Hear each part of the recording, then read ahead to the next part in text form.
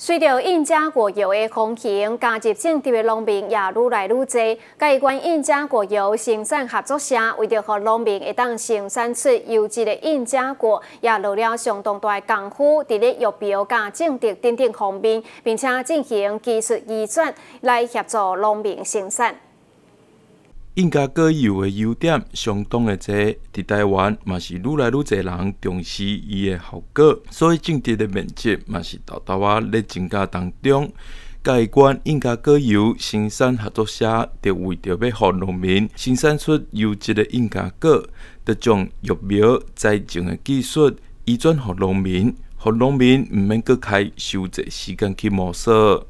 呃，这一些印加果核就是哈，就是从育苗开始，我们就一直在跟专家、跟一些比较有经验者在研究。呃，育苗是对农民的一个很很好的加分，就是说，好的苗给农民，他们对他们的产量跟收入有一个比较高的呃的收入的成正比哈。所以说。我们对苗种的选择很慎重，嗯啊，所以说，呃，好的好的苗种，我们才给我们的社员去栽种，啊，所以说，我们呃前几天有记者下来采访，他也全全省在采访说，呃，有关于呃那个病虫害了哈，土壤土线线虫的问题，其实嘉义县应家国目前来说，对这些问题。哎，我们都已经遇过，而且都把它解决了啊！所以说这点我们还蛮感蛮感到骄傲的哈。然后我介绍就是说，这绿色的动部分啊，它是未成熟的，就是说在在呃树下果的那个呃树上哦，它未成果，它是呈现这个是绿色。成熟了以后，它是会裂开，哦，裂开以后它变成。这个呃紫呃这个紫黑色这样子，紫黑色你摘下来以后，你还是必须要晒三天，让这个果这批果层哈，让它干很干了以后，它才不会渗透进去里面，把豆子哈呃变成一个有黄色的或者有毒的黄毒激素之类的哈。所以说这个这个果实晒干了以后，我们会送到社区。我们现在有三个。嘉义，呃，嘉义县中埔乡这边有三个社区是专门在播我们的我们的呃手工剥壳剥我们豆的豆子。第一层就是呃专门剥外壳，外壳外壳剥了以后就是它第一层就是到呃这个黑豆黑豆的部分，黑豆的部分以后回来我们会再送第二个第三个社区，因为这个。部分会比较困难一点，就是说，它剥了以后，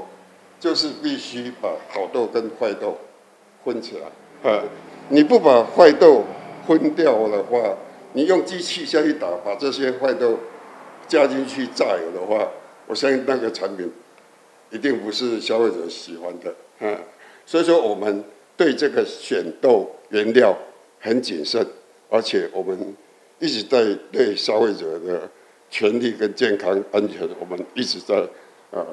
维护中。对育苗、翻土、种植、甲应加果结果、满收、拍打等等，只需要将应加果交付生产合作社，互合作社一条龙式的服务包办，中间减去了农民其他的步骤，并且合作社嘛稳定绩效，互农民的收入增加，嘛种植出上优质的应加果。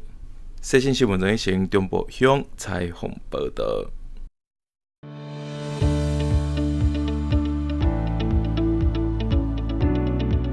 我们从四星到五星的过程当中，我们看到了嘉义的进步，看到了嘉义县民对我们的肯定。八大面向的平均满意度还是全台第一名，这代表你的团队真的是非常的坚强。最近啊，我到外面去走，自从啊眼见。给我们五星县长以后啊，我们的县民说他们也是五星的县民啊，